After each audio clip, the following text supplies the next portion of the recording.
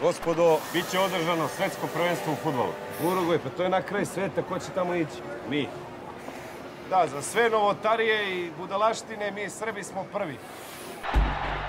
Sladoled, sladoled.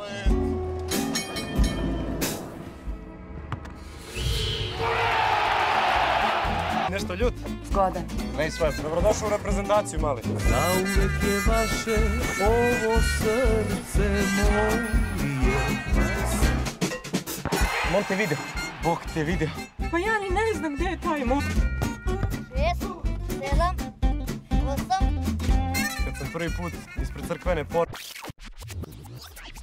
Montevideo, Uruguay. After months of intense around the clock effort, the construction of the first World Championship Stadium is finally completed.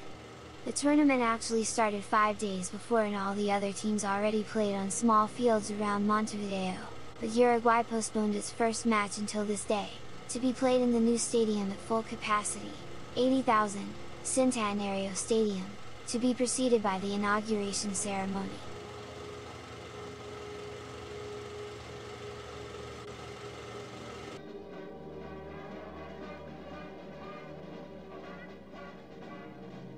The first FIFA World Cup was one of a kind.